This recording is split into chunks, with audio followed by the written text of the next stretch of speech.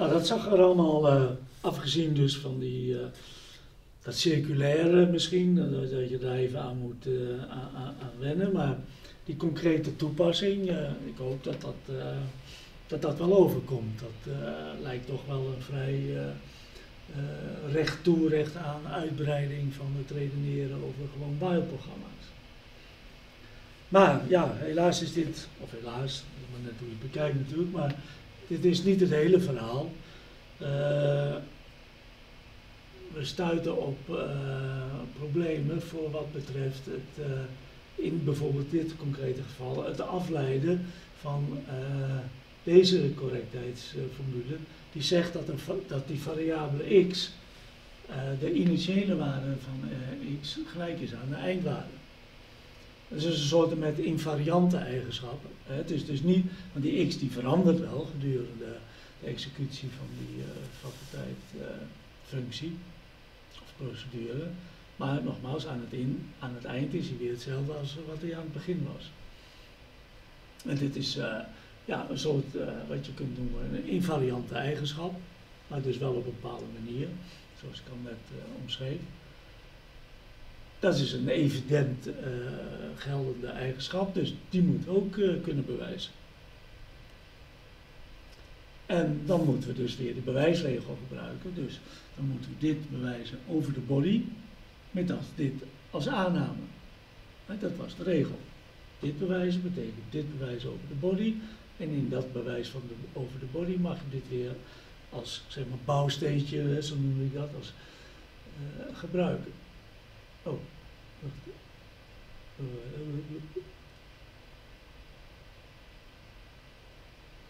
Oh, oh, ik dacht dat ik daar een concrete uitwerking van.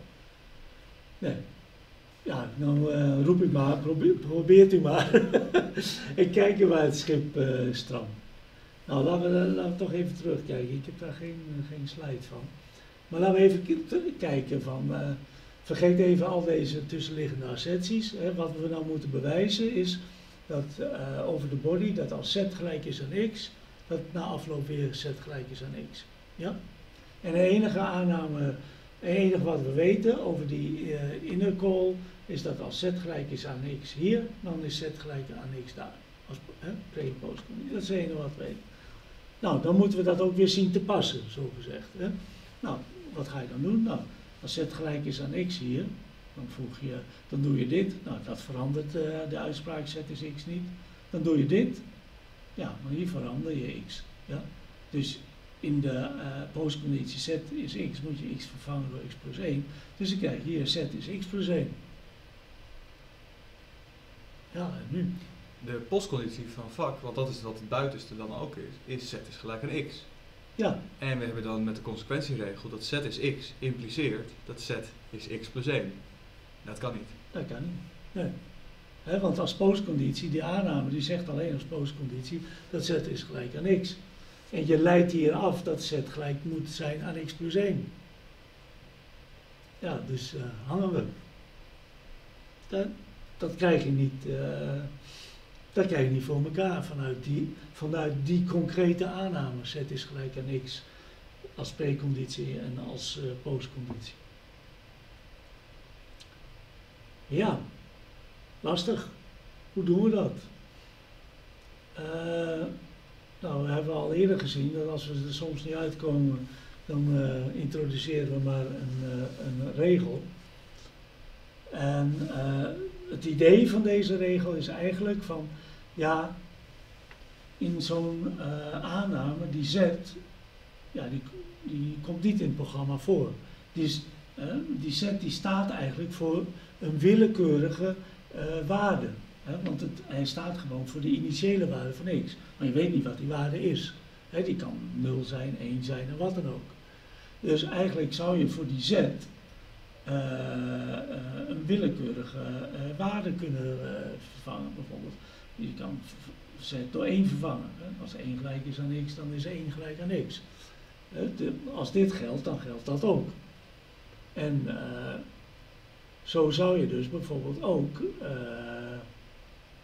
ja, z bijvoorbeeld kunnen vervangen Hè, want z staat voor de willekeurige beginwaarde.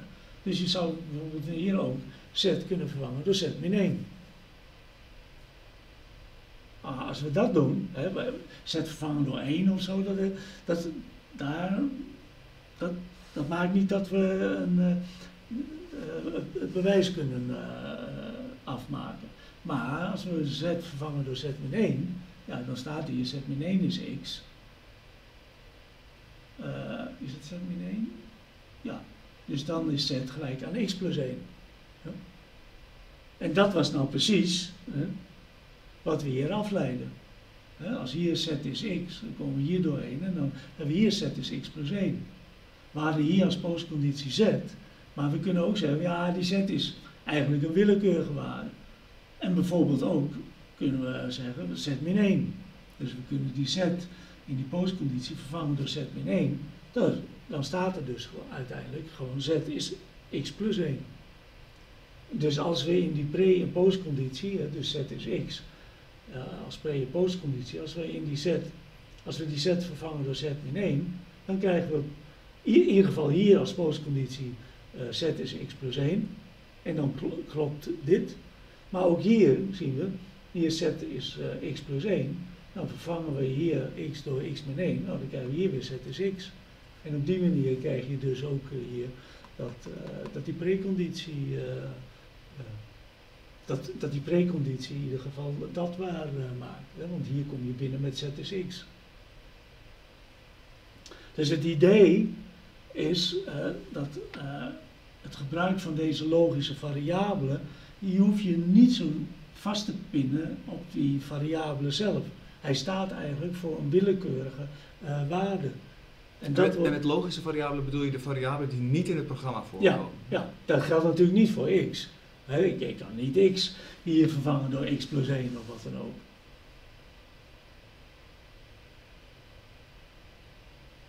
Nou ja, in dit geval toevallig wel natuurlijk. He, ik zou, kan ik x door x plus 1 vervangen? Ja, dan krijg je z is x plus 1. Ja, dat is gelijk aan uh, z min 1 is x. Ja, nou, dat, is hetzelfde weer als z is ja, toevallig dat, dat kan natuurlijk wel. Toevallig nou wel. Maar in het algemeen, hè, dat wordt uitgedrukt door deze regel, mag je alleen maar logische variabelen uh, vervangen in een pre- en postconditie. En een logische variabele, zoals Hans uh, opmerkte, is een variabele zoals dit, hè, z, die niet in mijn programma voorkomt. En hoe, hoe, waarmee mag je hem dan vervangen? Nou, met een willekeurige expressie, hè, bijvoorbeeld z min 1.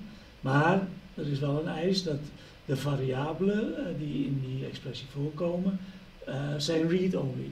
Die mogen niet, uh, de expressie zelf mag niet veranderen, de waarde. Dat is natuurlijk wel, wel, wel intuïtief, want die z is een logische variabele, die staat eigenlijk voor iets wat niet verandert. dus ja, je mag daar niet voor substitueren een term die zelf kan veranderen door de executie. En dit is weer zo'n van die zijcondities. Uh, jullie hebben al opgaven daarin gezien. Dan kan je weer testen nou ja, waarom die restricties nodig zijn. stel dat hij dit wel toelaat, dat die set in het programma voorkomt. Nou, kan ik dan een P en een S en een Q vinden en een T waarvoor de premisse waar is en de conclusie onwaar. Ja, en hetzelfde voor deze restrictie. Dus dat is een, ja, een typische opgave voor, voor het werkcollege en dan ook een mogelijke opgave voor een deeltentamen dan wel tentamen. dat zijn de typische vragen die je kunt verwachten. Trouwens, nog een opmerking over het voorkomen. Hè? Want S is een recursief programma, dus S kan ook een procedure aanroep bevatten. Ja. maar stel je kijkt naar S, en in S wordt bijvoorbeeld een variabele x niet aangepast. Hè? Dus je zegt x is read-only. Ja. Maar als je dan de procedure call, ja, ja. als je de procedure, procedure call dan ontvouwt, en dan komt er opeens wel een wijziging van die x. Ja, dat is een goed punt. Ja, het is wel, uh, hier is het een beetje impliciet. Hè? We moeten teruggaan, we veronderstellen steeds, gegeven een globale verzameling van declaraties. En uh, deze syntactische eisen, dat ze z niet in het programma voorkomt en dat de variabelen alleen maar read-only zijn, dat heeft niet alleen betrekking op die statement S, maar ook om die gegeven context. Dus dat betekent dat uh, Z niet in programma mag voorkomen, Z niet in S-vat mag voorkomen, maar ook niet in een body van een willekeurige proceduredeclaratie. En ik doe dito voor de read-only. Ja, nee, dankjewel, dat is uh, een goed punt. Dus deze condities hebben niet alleen betrekking op die statement S, maar ook uh, de bijbehorende declaratie. Nou, gaan we eens kijken. Gaat het werken? Nou, dat heb je eigenlijk al, uh, heb ik al min of meer gesuggereerd. Maar laten we nog even precies uh, zien hoe, uh, hoe dat uitpakt. we willen dus over de, de faculteit aanroep bewijzen dat de x, initiële waarde van x, dezelfde is als de eindwaarde. Daartoe moeten we dus die dat bewijzen over de body. Ja, en daarmee mogen we gebruik maken van uh, die aanname over die inner goal. Maar we mogen nou iets meer, we mogen nou wat doen met die aanname. We hebben bijvoorbeeld die substitutieregel. Dus laten we eens even kijken hoe we dat uh, uh, ook noteren. Nou, hier gaan, halen we die z is x er gewoon doorheen, door die den, door, sorry, door die L-stak. Ik krijg z is x plus 1. Nou, hoe schrijven we dat op? Uh, ja, dat doen we op deze manier. Uh, we herschrijven dat. Uh, z is x plus 1, z min 1 is x, dat is hetzelfde. Dus in ieder geval, dit impliceert dat. Nou, en dan zeggen we, dat is eigenlijk een soort met. er zijn verschillende manieren waarop je dat kan doen. ik suggereer deze dat je hier even apart neerzet. Ja, merk op dat deze uh, assertie, die kan ik zien als deze assertie met z vervangen door z min 1. Ja? Want dan heb ik een aangegeven. Oh, wat gebeurt er nu? Uh.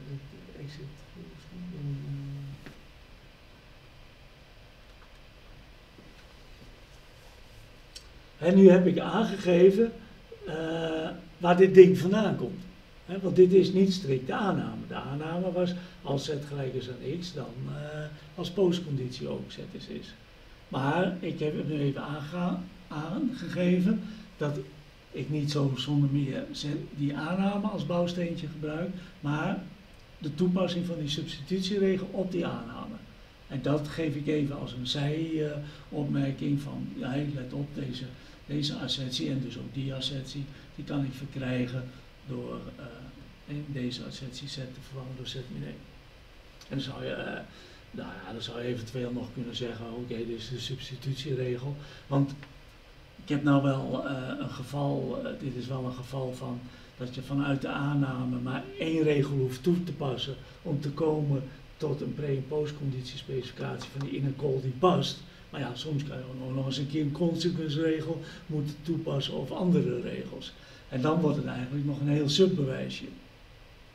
Dus dan is het vaak misschien nog handiger dat, uh, dat je hier gewoon de, de, neerzet wat je nodig hebt en dat je apart nog weer neerzet hoe je dit ding afleidt, uh, hebt afgeleid van, uh, uit de oorspronkelijke aanname met behulp van welke regels. Maar in dit geval is het dus maar toepassing van één regel. Dus dat is een manier om, uh, om, om, om ja, de, programma nou te annoteren. En dan, uh, ja, dan krijgen we dus hier vervangen x door x min 1, dus dan krijgen we logisch gesproken z is x, dan krijgen we dat. Hier is z is x, die verandert niet, klaar is. Ja? Ja, dus hier lukt het wel, omdat we gebruik hebben gemaakt van de substitutieregel. Ja, anders zou ik het niet weten. Dan gaat het ook niet lukken. Dat kun je zelfs ook bewijzen, geloof ik. Dat, zonder die substitutieregel kun je dat, uh, die invariantie niet, uh, niet bewijzen.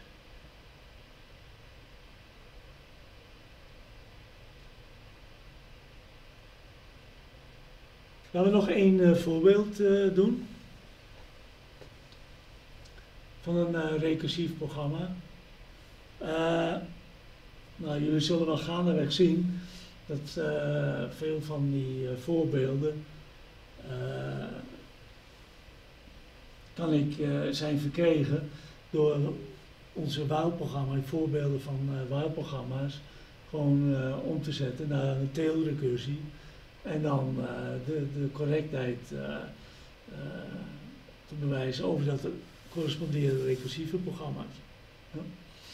Zo bijvoorbeeld, hè, we hebben het programma gezien, een while statement voor het sommeren van een reeks elementen in een array. Nou, dat kunnen we eenvoudig omzetten in een tailrecursie. Uh, we hebben de upper bound n, en k is de teller en zolang uh, n uh, de upper bound ongelijk is aan k min 1, dus we zijn nog niet aan het eind, dan tellen we bij SAM de, de kaderwaarde op. De kaderwaarde van A. Hoge k min 1 op en dan gaan we de recursie in. Nou, wat we willen bewijzen is uh, dat als we sum initialiseren op 0 en we zetten initiale, en we veronderstellen dat k initieel 1 is, dan moet na afloop uh, som, de som zijn van alle waarden vanaf i is 1 tot en met n. Oké, nou, laten we kijken. Nou, dit is uh, een sequentiële compositie, dus we moeten de regel van uh, sequentiële compositie gebruiken. Uh, ja, nou, dat is simpel, hè, want we weten als, als K1 hier geldt, dan geldt de afloop natuurlijk ook K is 1 en we weten tevens dat SAM is 0. Dus wat we nou moeten bewijzen uiteindelijk, hè, is dit. Ja, dat als K gelijk is aan 1 en SAM is gelijk aan 0, dan na afloop van die recursieve call moet de som, som zijn die elementen. En dan met sequentiële compositie en uh, simpele assignment axioma hebben, hebben dus, uh, kunnen we dit bewijzen. Dus, nou, ja, dit is weer een recursief programma, dus willen we dit bewijzen, dan moeten we dit bewijzen over de body. Ja. Moeten we dit bewijzen over de body.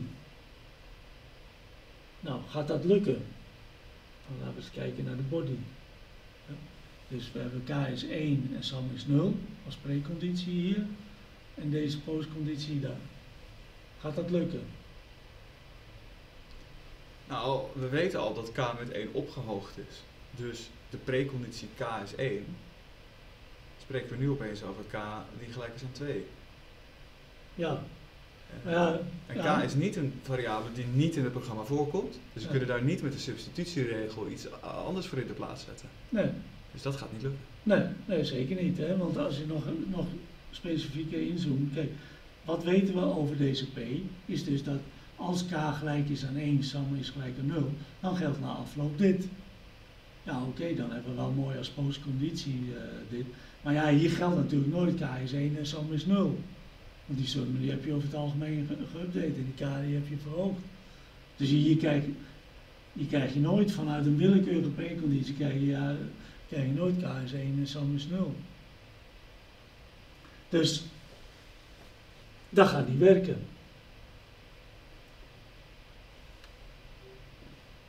Dus wat we moeten doen is, uh, ja, in zekere zin deze aanname uh, generaliseren. Nou ja, in hoeverre je dat precies generalis generalisatie kunt noemen, daar moet ik even over nadenken. Kunnen we dit zien als een generalisatie van dat? Nou, de postconditie is hetzelfde. Ja. Uh, we weten dat de, als we het onderste kunnen bewijzen. Even kijken. Ja. En je weet bovendien dat k is 1 en sam is 0, dan heb, dan, dan heb je dit. Want k is 1 en sam is 0. Impliceert dat. dat. Ja, maar omgekeerd niet. Omgekeerd niet, ja. ja.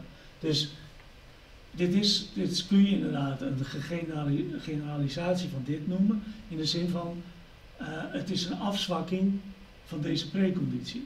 Hè? Want dit impliceert dat. En het is niet zo dat dit dat nou impliceert. Dus je verzwakt in zekere zin de preconditie. En dat hadden we eigenlijk al geconstateerd. Deze preconditie is veel te sterk. Wel, die, die, we gaan juist sum en, en, en k uh, veranderen. Ja. Maar ja, dan is natuurlijk de vraag, hoe verzwak je dat ding?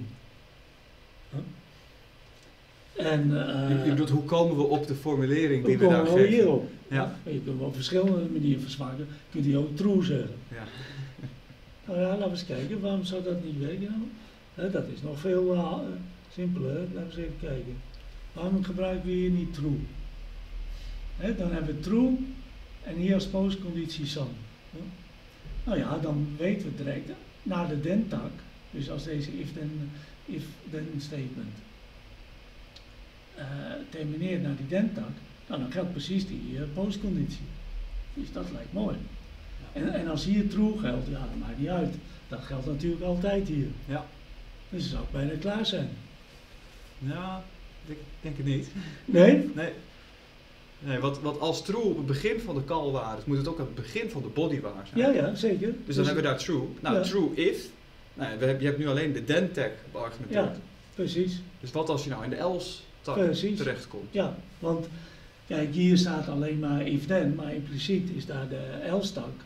En de else tak zegt, hè, preconditie true, als dit niet zo is, dus n is k min 1, dan doen we de skip statement en dan moeten we bewijzen dat dit geldt. En dat, dat, dat volgt Nou, niet dat, dat volgt natuurlijk niet uit true en k is, eh, en, en n is k min 1. Dus eh, als we de recursie ingaan, dan klopt het wel, maar eh, voor het basisgeval eh, ja, kom, je er niet, kom je er niet uit. Maar ja, nu krijg je dus ook wel een hint, want als je weet dus dat je, wilt hebben dat na, ook naar de impliciete L-stak moet dus dit gelden. Dus als n gelijk is aan k min 1, dan moet dus dit gelden. Nou, dat is het bijna dat trucje voor die invariantie, want als n is k min 1, nou ja, vervang dan hier gewoon n door k min 1. Want als, dan, eh, als je dat als preconditie neemt, sam is eh, de som van i is 1 tot en met k min 1, en je weet n is k min 1, ja, dan krijg je dit. En dat was ook eigenlijk precies, eigenlijk dat trucje wat we deden van eh, het vinden van een invariant. Van, in de, in de eh, context veranderde de bound door de teller. Ja, en dat doen we hier eigenlijk ook. Ja, sterker nog, dit is de invariant voor de while statement. Als je terugkijkt eh, naar deze opgave voor eh while statement, dan kun je zien dat we dit als invariant hebben genomen, waarbij we dus de upper bound hier vervangen door de teller. Maar hier introduceren we het als een eh, verzwakking van eh, de, de, deze preconditie. Maar in zekere zin is het natuurlijk ook zo, want eh, iedere keer voordat je de recursie ingaat, moet natuurlijk al de som, de som zijn van al die elementen. Van eh i is 1 tot en met k min 1. Dat is het idee van het programma.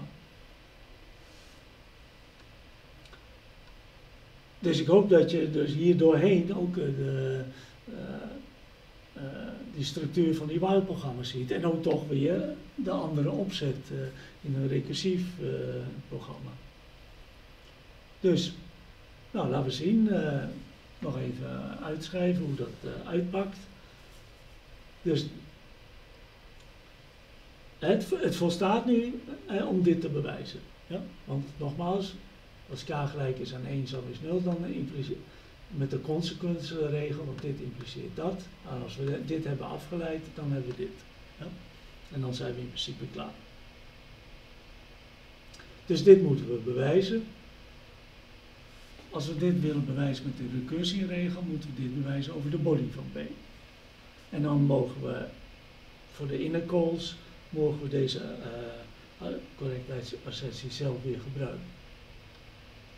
Nou, dat gaan we dus hier illustreren aan de hand van uh, de annotatie van de body. Dus we zetten hier uh, wat we willen bewijzen over de body, de preconditie uh, hier en de postconditie daar. en nu maakt wel expliciet dus de, de impliciete L-stak. Nou, gaan we eerst de, de L-stak in. Nou, daar verandert niks.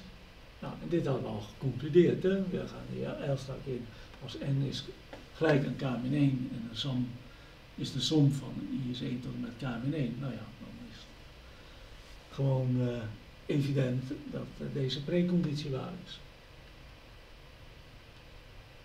Goed, nu dit geval bij de dentak, die eindigt uh, in, in, in de procedure P. Nou, het enige wat we daarover weten is dus deze pre- en postconditie. Nou, die zetten we daar neer.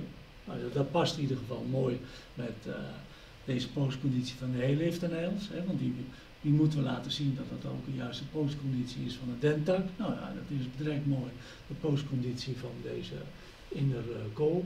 Nou, we weten dat dit waargemaakt wordt als deze preconditie geldt, dus die zetten we daar neer. De preconditie, dat som is de som is van IS1 tot en met K-1 over P. Nou, en nu uh, gaan we fietsen we vrolijk verder, maar dan uh, zoals we dat gewend zijn over, uh, in het redeneren over while-programma's. Vervangen k door k plus 1. Dan krijgen we dit. Som is de som van alle waarden van i is 1 tot en met k. Nou, dan vervangen we hier som door som is som plus ak. Nou, wat is dit? dan kunnen we dit element, argument van een plus, naar de andere kant brengen. Ja? En dan krijg je dus dat SAM is gelijk aan de som van alle waarden van E is 1 tot en met K in 1. Nou, dat volgt natuurlijk direct uit deze preconditie. Sterker nog, daar heb je dus eigenlijk deze conditie niet eens voor nodig. Hè? Als je de recursie ingaat, dan heb je eigenlijk dit niet nodig. Mm. Het is eigenlijk alleen voor wanneer je de recursie uitgaat. Heb je daar bij die implicatie van sum is de som van i tot en met k min 1, nou die daaronder staat, niet nodig dat k uh, bijvoorbeeld uh, positief moet zijn? Nee, stel is positief, dan krijg je uh, groter dan 1. Want stel k is 0, hè? Ja. dan is de som oh, ja. leeg. Oh ja. Maar dan doe ik plus ak. En dan doe ik k plus 1, nou, dan wordt dat 1. Dan Oké, okay, dat kan het nog. Stel k is negatief. Stel is k min 1. Nou, ik, ik, dan, dan werkt het denk ik niet.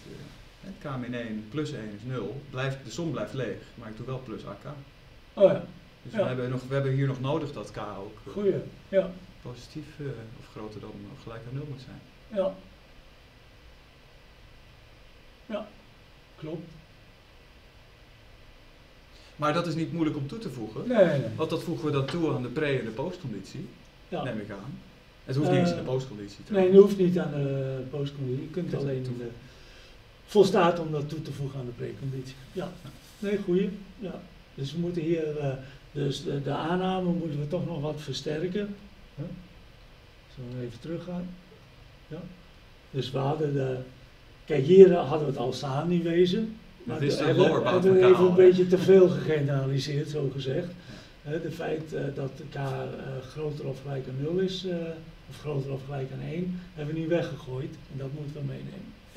We zijn even wat te vrolijk aan het, te ruim aan het abstraheren geweest. Ja, klopt.